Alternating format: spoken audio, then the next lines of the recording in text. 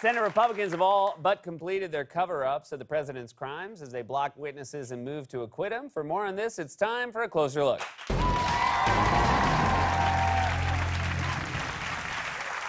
Donald Trump is not just a very dumb man, he's also a very weird man.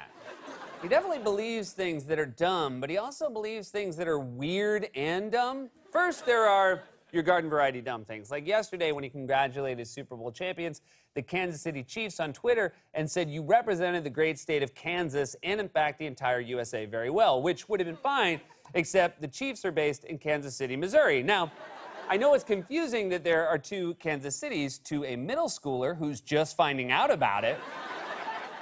But I guess we can't expect the President of the United States to keep track of all the states. I mean, he knows that the red ones are the ones that like him, and Florida's the one that looks like a penis. And Trump really can keep being dumb because there's no cost from his base. Trump supporter and head of the American Conservative Union, Matt Schlapp, tweeted Dear East Coast establishment, Kansas City, Kansas is in Kansas, which is true, but that's not where the Chiefs play, so it's irrelevant. That would be like me saying Matt Schlapp sounds like slang for the sound it makes when you fart in yoga class. irrelevant. Now, those are the standard sorts of dumb things we're accustomed to hearing from our president, but then there are the weirder dumb things. For example, here's a weird dumb thing Trump believes. He seems to think that stealth military jets, which use technology to avoid detection by radar and other means, are literally invisible to the naked eye. It's something he said many times, including at a speech in Michigan last week. I know everybody here in Michigan supports our great armed forces as much as any place, Michigan. And that's why we're giving strong consideration to deploying some of our mighty F-35s to Selfridge Air National Guard Base. And you know what that means, right? You know what that means. That's a big deal. So Selfridge, uh, you're going to see a lot of very fast planes. Actually, they're totally stealth. So maybe you won't see them come in. Okay? You won't see them come in, but they're coming in. He genuinely thinks stealth means invisible. His brain is only capable of thinking in cartoons. He actually believes the military has developed the same technology as Wonder Woman. Our great soldiers are out there fighting ISIS with their bracelets and golden lassos. Honestly, there's a good chance we could prank Trump by leading him down a jetway and telling him, Mr. President, we'd like you to be the first man to board the invisible F 35 jet, and then just watch him fall face first onto the runway. And And you know what sound it would make when he hits the tarmac? Matt Schlapp! then on Friday, Trump gave another speech where he did his usual shtick of bragging about stuff he hasn't actually done, like, for example, the jobs numbers. But he also decided to give his daughter Ivanka a shout out as well. Now, as you watch this clip, just remember that about 6.7 million jobs have been created during Trump's presidency. And hey, while that's great, it's also incidentally lower than the 8 million jobs created in roughly the same period of time at the end of Barack Obama's presidency. Just remember, that's how many jobs Trump and Obama created in roughly three years each, about 14.7 million combined. Now, here's the president on Friday talking about how many jobs his daughter has supposedly created. Ivanka's been a champion for administrative and legislative actions to combat human trafficking and a true heart. She has uh, this issue has been so important to her. This and making sure people are ready to work. And she's now created over 15 million jobs for the people of our country. One of the reasons our unemployment numbers are the best ever. 15 million. She's created 15 million jobs. I don't even know what her job is. I mean, I think she works with at risk teens. I don't.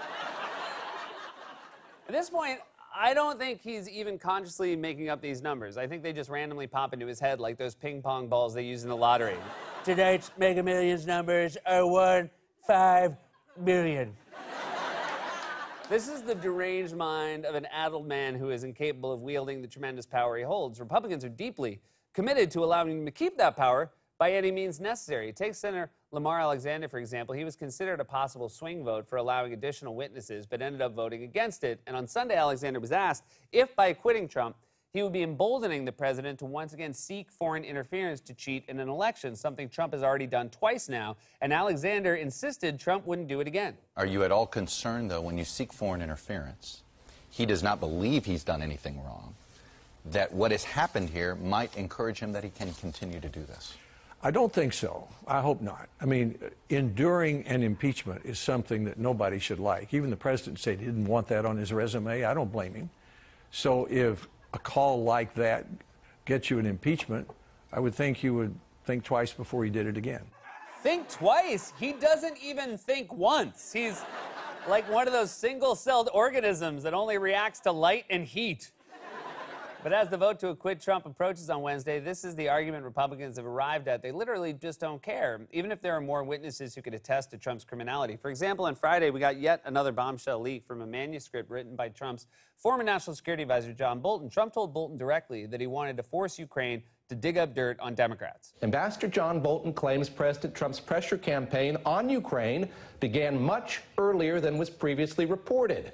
The New York Times reports, quote, President Trump directed John Bolton, then his national security advisor, to help with his pressure campaign to extract damaging information on Democrats from Ukrainian officials.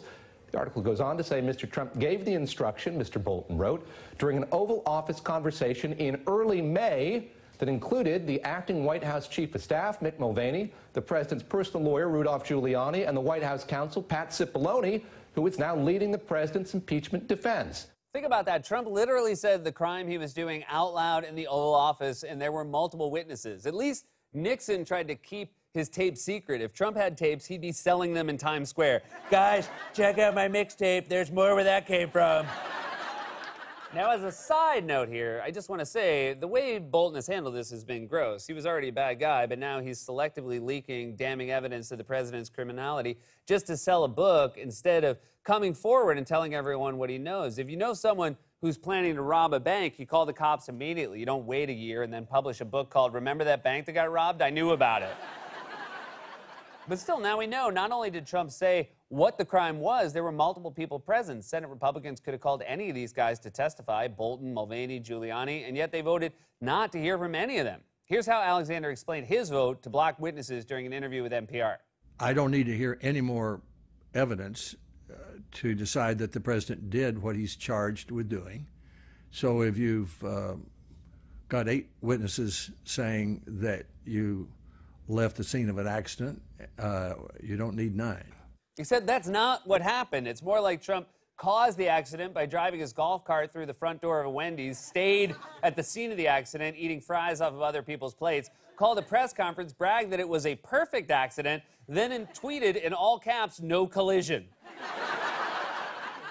And other Republicans quickly joined in on the cover up. Alaska Senator Lisa Murkowski admitted in a statement that I have come to the conclusion there will not be a fair trial in the Senate. And Florida Senator Marco Rubio said just because actions meet a standard of impeachment does not mean it is in the best interest of the country to remove a president from office. Think about that. They're literally just announcing it to the world. We're doing a cover up. We won't hold a fair trial. And even if he's guilty, we won't remove him from office. They might as well come out and say, remember all that confetti from the Super Bowl? Those were documents from the White House we shredded.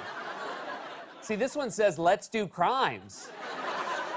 But the most shameless response to the vote on Friday came from Senator Lindsey Graham, who celebrated the GOP cover up with some colorful language on Fox News Friday night. You know what I believe about all this? It was a bunch of partisan bull in the House. It continued in the Senate. It's going to end Wednesday. The president's going to get acquitted. It's going to blow up in their face. While Lindsey Buckingham, Beauregard, Montgomery, Longstreet, Winchester, Graham, you mind your tongue. Need I to remind you, you are on the airways of a decent all American family channel called Fox News. The network of such stand up personalities as Roger Ailes, Bill O'Reilly, and America's Scream Heart, Jeanine Pirro. GOP cover up and the likely vote to acquit Trump on Wednesday should seal it once and for all. The Republican Party is totally and completely devoted to a corrupt imbecile who thinks planes are invisible and doesn't know there are two Kansas cities. All Republicans care about is clinging to power, their supposed respect for the founders, and the rule of law was a fraud and a scam. And every time they lecture the rest of us about the sanctity of the Constitution, it was all bull. This has been a closer look.